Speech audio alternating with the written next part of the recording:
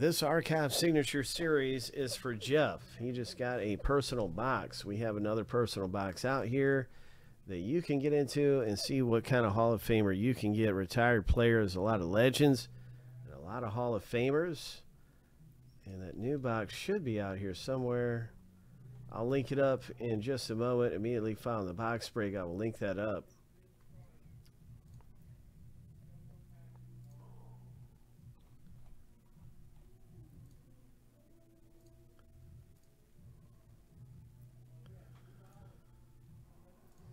Let's see, we got Jeff.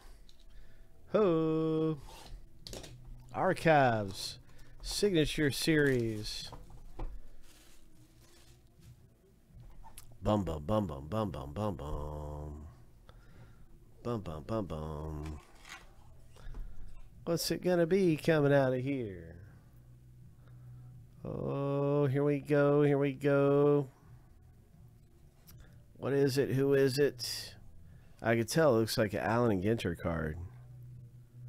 Here we uh, here we go. This is it right here. What is it gonna be? Oh, legendary Pittsburgh Pirates. Oh, look at that! Wow, nice hit. Wow, so if you don't know much about this this Hall of Famer right here, this is a legend of baseball, man. This is awesome. Let's do a quick look at his his accolades. That is really cool. Yeah. Just a quick look at his accomplishments in in the world of baseball, man. This is great. That's a great hit for Jeff J. The Glove, his nickname is The Glove. The Maz, or Maz, is nicknamed too.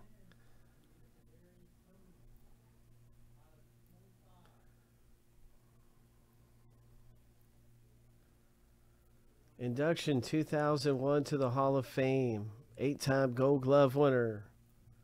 Two time World Series champion.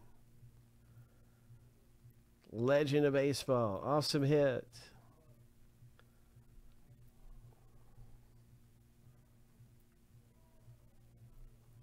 A lot of a lot of great stuff, man. I could sit here and read all this. It's just really cool.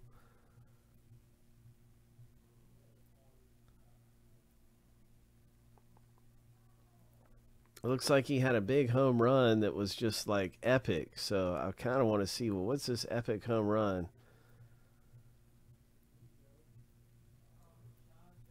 Okay, it was a special home run that he hit. Pirates win, ladies and gentlemen. 1960 World Series epic moment, Bill Mazeroski. That's awesome. So he's known for that home run he hit in the World Series. That's really cool. A Hall of Famer. Congratulations again, Jeff J. Here's a link to the next one of these, you guys. If you want to rip in some more archives, we got them popping open around here. We got all kinds of great stuff to get into, including the new finest that just came out.